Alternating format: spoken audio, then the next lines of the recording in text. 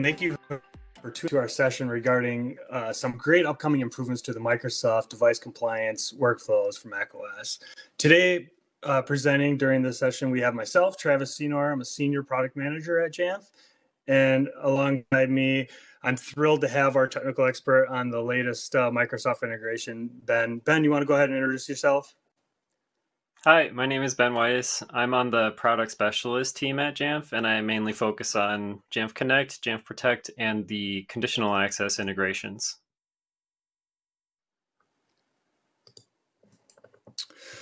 Wonderful. So our session agenda will look something like this. Ben and I will provide a brief overview about what is the Jamf and Microsoft device compliance integration, the history of the Jamf Microsoft partner uh, partnership and integration. We'll distinguish the differences between the two Microsoft APIs that Jamf integrates with, both the partner device management API and then the latest partner compliance management API.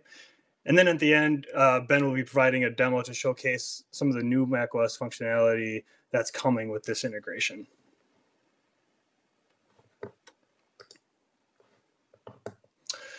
So with, with the Jamf and Microsoft partnership, we have a multitude of integration points. Together, we, we connect users with the Azure as the IDP, which allows end users to extend authentication to their apps via SSO. Jamf Pro is able to deploy, configure, and update Microsoft applications automatically, uh, for example, like the old 365 applications, so that users have pre-configured and ease of access to their Microsoft specific work resources. And the latest integration point is around security and compliance to ensure only trusted users and compliant devices gain access to Microsoft work resources. The perimeter based uh, security model that organizations have traditionally used is no longer effective when it, it comes to protecting the data that's outside of the corporate firewalls. To solve this challenge, Microsoft Enterprise Mobility uh, Security, EMS, Conditional Access, and Jamf Pro's data telemetry capabilities ensures that company data can only be accessed by trusted users and devices that are using trusted apps. High level, whenever corporate data is requested, the Jamf and EMS integration is able to quickly determine if access to corporate data should be trusted or revoked via conditional access controls. Conditional access is different across all organizations, so providing administrators the flexibility to create compliance policies based off their needs is uh, very important. We'll cover this in further detail later on. So how has Jamf and Microsoft grown with our compliance integrations? In 2017 was really the start of conditional access journey between our organizations for Mac. Customers were looking for a way to enforce conditional access policies across their Mac fleet, but there were three key functions required to make this magic come together. The first Admins needed a way to sync their Mac inventory data with the Microsoft Endpoint Manager, formerly called Intune at the time. This also opened up the ability to do a single pane of glass reporting experience within Endpoint Manager. The second inventory data needed to be analyzed by Microsoft Endpoint Manager Compliance Engine to generate and report and then make intelligent decisions about the user's identity and the device telemetry coming from Jamf Pro to enforce conditional access. The third was to provide a user friendly remediation experience for non compliant devices so that users can take action to actually become compliant. So, Mac conditional access workflow solved a critical market problem, but as iOS and iPad OS has continued to grow in popularity within the enterprise, the need to have the same compliance controls for the iOS and iPad OS platform became evident. And so in 2019, Jamf and Microsoft introduced the ability to support iOS device compliance. A key difference with this integration is around the compliance calculation, and it was shifted from being analyzed in Microsoft Endpoint Manager to now have Jamf Pro uh, handle the compliance uh, calcs. Then Jamf would push the device compliance flag of a yes or no to Azure. Fast forward to now in 2022, Jamf and Microsoft receives uh, critical customer feedback, and there's a real need for more granular control over what compliance means for an organization. As I mentioned in 2017, there were only certain data fields that were supported. However, by leveraging the same compliance calculations Jamf Pro does with iOS, for now with macOS, admins can now achieve that granular compliance control they've been requesting. This ongoing analysis of device data is being calculated uh, using the Jamf Pro computer smart groups. Going a bit deeper into the journey, let's review the flow diagram from 2017's initial Jamf and Microsoft macOS conditional access integration. Starting from the left to the right in the flow di diagram, you have a Mac enrolled into Jamf. The integration is established between Jamf Pro and the Microsoft Endpoint Manager. And the end user is already known to Microsoft through Azure Cloud, Azure Active Directory, but the device is not. So to register to register the device, the end user navigates to Jamf self-service on their Mac for opening Microsoft's company portal app to authenticate. The device is now registered into Microsoft Endpoint Manager, and Jamf Pro pushes the device data to Microsoft to be uh, utilized throughout the ongoing compliance calculation process which is what the middle of the diagram here demonstrates. Depending on how the compliance policy rules are configured, let's say, for example, the device must be file vault encrypted and managed by G Pro, conditional access controls are then enforced, granting or revoking access to Microsoft work resources.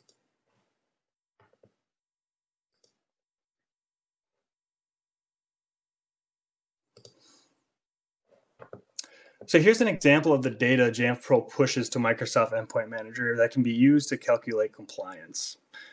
As you can see, there's a, a, list of uh, variables that Jamf Pro sends on to Microsoft. Uh, so some of the key ones would be like file vault encryption, passcode policies, etc.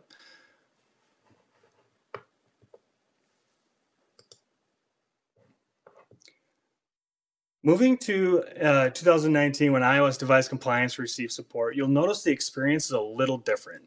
With this integration uh, between Jamf and Microsoft, the end user enrolls their iOS, iPadOS device into Jamf.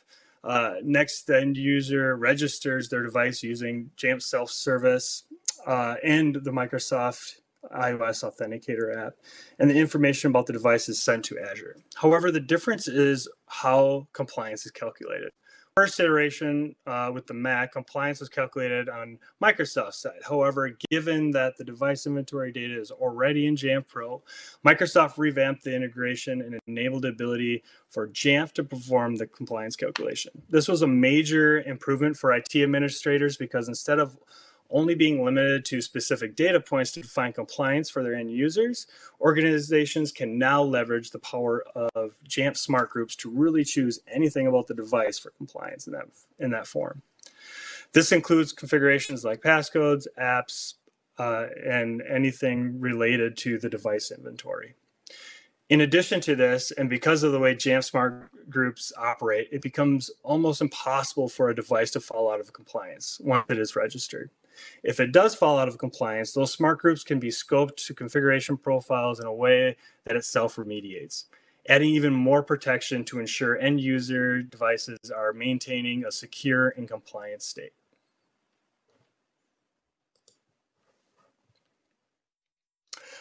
So given the new architecture for iOS, it made sense to bring this same flexibility and more granular control over to macOS. In this diagram, end users on the Mac must enroll their device into Jamf Pro, and the registration experience still uses self-service and still uses the Microsoft company portal. Like always for the, uh, like as before for the Mac, the device uh, analysis and compliance calculation leverages the power of Jamf smart groups to perform ongoing device analysis and check if the device is compliant, access uh, to company resources is granted, and if not, it's revoked and remediation uh, occurs.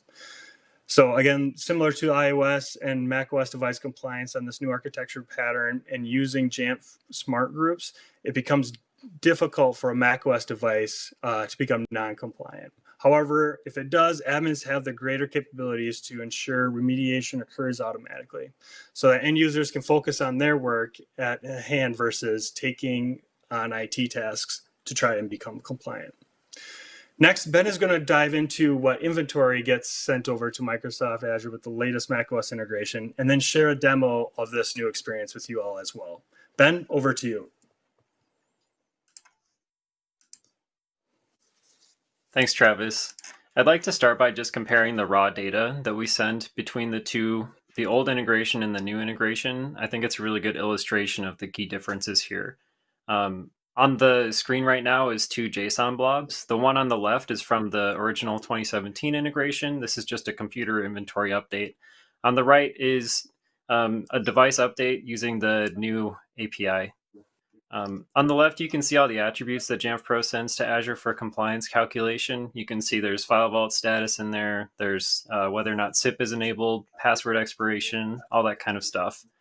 On the right, you can see Jamf Pro isn't really sending much beyond here's the device I'm talking about, and here's whether or not it's compliant.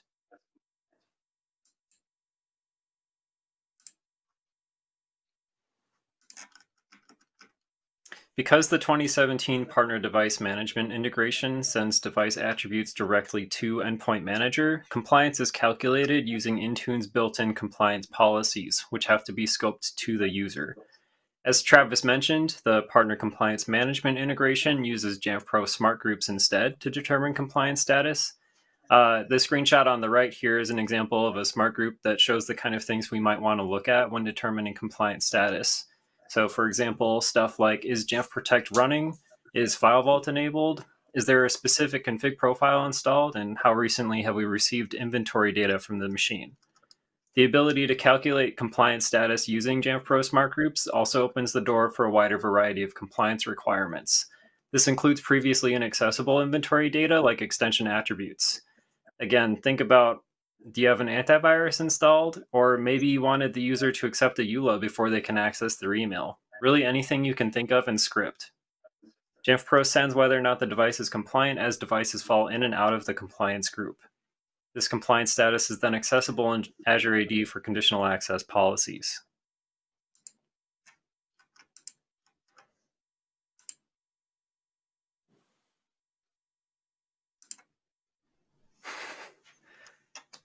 With the Partner Compliance Management integration, compliance status can be verified in a few different places, including by checking in Azure AD or by looking at whether or not the computer is a member of the Smart Computer Group.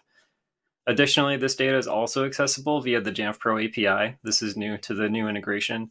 Um, this API endpoint also discloses the Azure AD ID of the computer, which should be helpful in some automation scenarios. Uh, it's worth noting here that this endpoint is also available for the existing mobile device integration. And lastly, before I wrap up, I wanted to talk about the user experience. Um, the partner compliance management integration brings a lot of improvements to configurability and generally the amount of time it takes for a computer to become compliant in Azure AD. But there are several other new developments since the 2017 launch that are worth mentioning. Uh, first, an additional key was added in Jamf Pro 1038 that allows the user to use a native Apple web view rather than their default web browser. This cuts down on the variability and complexity of the registration flow, and I would honestly recommend this for any environment that's compatible with the WK Web View. Second, the Azure AD SSO extension offers a significant improvement. With the SSO extension configured to allow access to the Jamf AD agent, the registration flow is cut down to a single sign-in and company portal. All other authentication prompts are handled or bypassed by the SSO extension. Uh, on the next slide, I'll show a demo of these two enhancements put together. I'm using a simple script here to prompt the user to open up self-service. Opening self-service also provides an opportunity to share instructions with the user that will help them through the registration process.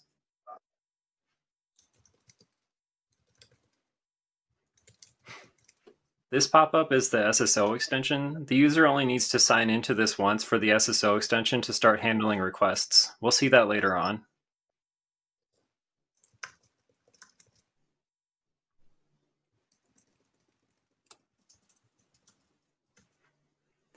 Now, after the user clicks Done in Company Portal, Jamf AD will launch to collect the user's Azure AD credentials. Because Jamf AD uses Microsoft's authentication library, this request is automatically handled, handled by the SSO extension. There are also no prompts for keychain access either. Once that window is closed, the computer is registered. And lastly, before I hand it back to Travis, I know you've probably seen the screen before, but I just wanted to show what a computer record looks like in Azure AD once it's been registered and is compliant. I'll also mention here that, like iOS, these device records will only show up in Azure AD, so don't go looking for them in Endpoint Manager. That's all I have for hands on demos, and I'll hand it back to Travis to wrap things up.